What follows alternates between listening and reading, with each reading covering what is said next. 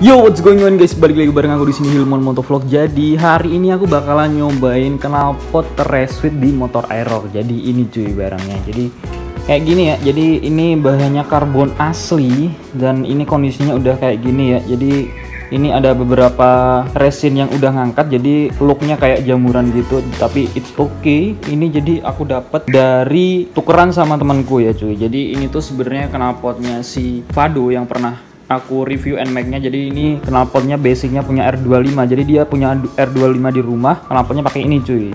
Nah jadi dan ini knalpotnya dipinjem sama si temanku si Gosan si Vespa Matic itu cuy. Jadi ini dia pengen tuker sama knalpotku ya yang adem. Jadi ini sekalian aku cobain juga. Jadi sekalian aku review ya kan cuy. Jadi di sini karbonnya karbon asli ya. Dan ini untuk bracketnya kayak gini. Ini bracketnya juga karbon jadi ini bener-bener keset banget ya. Jadi knalpotnya itu kan biasanya butuh per di sini ya. Nah karena ini udah karbon jadi kalau tanpa per pun ini udah keset banget cuy. Jadi nggak takut lagi kalau misalkan amit-amit knalpotnya merosot ke keluar lepas maksudnya ya. Jadi ini juga karbon juga cuy. Ini lumayan kuat bahannya. Kan karbon juga ya. Ini dry karbon deh kayaknya. Iya dry karbon ini. Karbon karbon asli. Kalau yang ini lapis deh kayaknya. Lapis kalau enggak ya dry carbon. Pokoknya bahannya bagus banget. Stainless ya kayaknya. Cuma ini nggak nggak bakal karatan karena ini stainless mungkin ya. Jadi ini yang Dove ini kalau misalkan dilihat-lihat ini bentuknya kayak proliner cuy. Bener-bener kayak proliner. Jadi karena ini suaranya berisik ya jadi di dalamnya itu sama si Fado dikasih kayak semacam saringan cuy. Bentar. Nah kayak gini cuy. Jadi ini kayak semacam kayak lancip ya cuy. Lancip terus dimodif. Jadi ini knalpot Resweetnya udah dimodif cuy. Nah kalau kalian bisa lihat tuh kayak gini. Nah kayak gitu.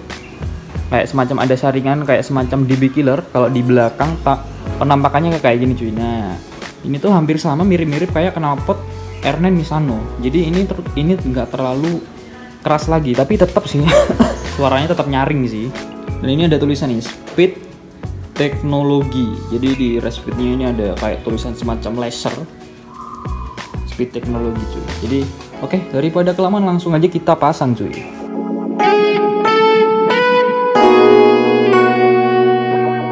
Nah ini udah terpasang ya cuy. Jadi ini looknya kayak gini. Kalau kalau dari samping agak lumayan. Cuma ini mungkin cocoknya di motor sport kalau motor aerox mungkin kurang sedikit berisi ya. Jadi ya gini lah. Tapi okay, mungkin kalau misalkan ini sedikit sedikit lebih panjang ini cocok cuy di motor aerox jadi kita langsung cobain soundnya cuy. Nah kan kalau gini nah udah dicabut sensor standar samping jadi bisa langsung di starter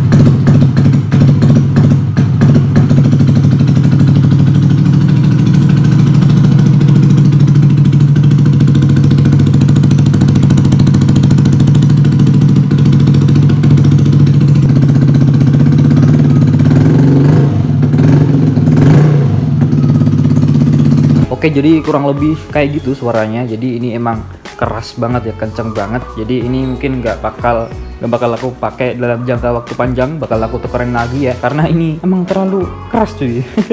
Oke guys jadi mungkin segitu dulu ya dari aku. Jadi tunggu aja project-project selanjutnya dari si Roxen ini. Jadi thank you for watching. I'm Hilman Motovlogs and out. Bye